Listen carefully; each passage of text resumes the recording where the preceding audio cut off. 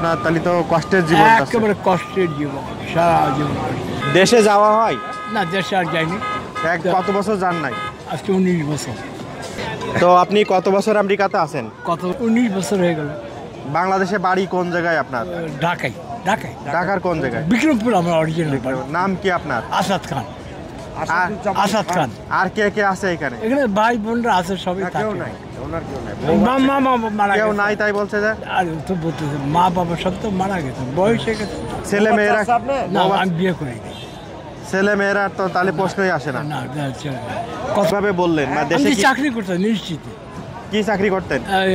Home মিনিস্ট্রিতে চাকরি করতাম UD clerk ছিলাম। তাহলে এই আমেরিকাতে আইছেন কত সালে? আর nineteen ninety eight. Ninety eight. আচ্ছা আচ্ছা। অনেক বছর। তো এখন যে আপনি নিউ ইয়র্কে আছেন থাকেন কোন জায়গায়? আমি জামাইকাতে থাকি কিন্তু আমাকে তো এখানে ডিসক্রিমিনেশন করছে। এখানে ব্ল্যাকরা আমাকে ভুল বুঝছে তারা আমাকে চাকরি করতে দিবে না কোনো কিছু আমাকে দিবে বিশাল ঘটনা এটা নিয়ে।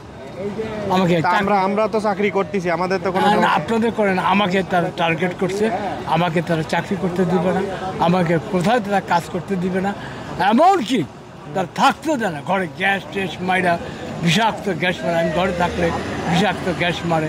চারিদিকে স্প্যানিশ ব্ল্যাকরা গ্যাস ট্যাস মারে আমাকে শেষ করে। তাহলে কি এখন আপনার ঘর আছে নাকি নেই? ঘর আছে কিন্তু থাকতে পারি না। তাহলে আপনি থাকেন কই? বাড়ি বাড়ি ঘুরি। আটশো টাকা ঘর ভাড়া দিই। ঘরে ঘুমাইতে গেলেই তার বিশাল এখনও ঘর ভাড়া দিচ্ছেন? হ্যাঁ আটশো টাকা। এই যে সকালবেলা সন্ধ্যাবেলা বাইরে এলাম। আটশো টাকা ঘর ভাড়া কিন্তু থাকতে পারি আপনি ঘরে থাকতে পারছেন না তা ঘর ভাড়া কেন দিবেন? বিষাক্ত গ্যাস ঘর ভাড়া দেন না। আর আরেক জায়গাগুলো তারাও সেখানে তাদেরকে ইনসিস্ট করে মোটিভেট করে ডিক্টেট করে। এরা কারা? এখানকার স্প্যানিশ আমেরিকান ব্ল্যাক সব মিলে এগুলো করতেছে আমাকে তাহলে আপনি মানে বাঙালিদের সাথে ঘর ভাড়া নেন। ওই তারা তাদেরকে ডিক্টেট করে ডমিনেট করে মোটিভেট করে তারা তো তাদের সঙ্গে আপনার তাহলে তো কষ্টের জীবন যাচ্ছে। একেবারে কষ্টের জীবন সারা জীবন। আপনার এখন কি কর্ম করে বিদেশে জীবন যাচ্ছে? কোনো কাজ করতে সিকিউরিটি কাজ করি একটা কয়দিন। করেন সপ্তাহে? সপ্তাহে চার দিন তিন দিন যা দেয় আর কি। কারণ এখানকার লোকেরা আমাকে কাজ করতে দিবে না। এমন! আমি ডিবিতে আসছি নাইনটি এইটে আমি আমেরিকান এয়ারলাইন্সে চাকরি করছি। এয়ারলাইন্সে হ্যাঁ আমেরিকান এয়ারলাইন্সে চাকরি করছি। আমি জেট ব্লুতে চাকরি করছি। আমি ডেল্টা এয়ারলাইন্সে চাকরি করছি। এখন তারা আমাকে চাকরি করতে দেয় না। বলে না। দেশে যাওয়া হয়? না দেশে আর যাইনি। এক কত বছর যান নাই? আজকে উনিশ বছর। মনে চায় না যে দেশে যাই আর দেশ দেশ সম্পর্কে নাই তো, মামা মামা নাই? তো। আর আমার ভাই বোন যারা তারাই তো নিজের ভাত জোগাড় করতে পারে না। পারে না। তারাই তো গরিব। কোথায় গিয়ে দেশে দেশে? দেশে। তারাই নিজেদেরই খাবার জোগাড় আপনি এখানে কাজ করে পয়সা পয়সা দেন? পয়সা পাঠাইছি। কথা অনেক পাঠাচ্ছি ছবি প্রযোজক ছিলেন কার ও ভালো কথা। আমি টেলিভিশনে একা ছবি পরিচালক এবং প্রযোজক। ছবির নাম বলেন? একা। একা? হ্যাঁ। নায়ক আজিজুল হাকিম। তারপরে করলাম একাকি সময়।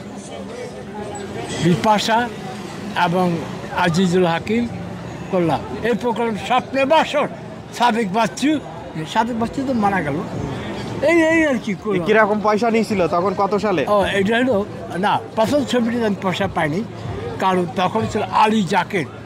আলী জাকের ছিল এশিয়াটিক অ্যাডিটেশন তো সে বলল আপনি প্রথম পরিচালক করছেন। আপনি তো অনেক খরচা তিন লাখ টাকা খরচা করছেন। আমরা তো আপনার বই কিনবো না।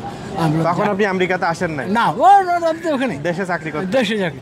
আমি বললাম আলী জাকের ভাই আমার একটু হেল্প করেন।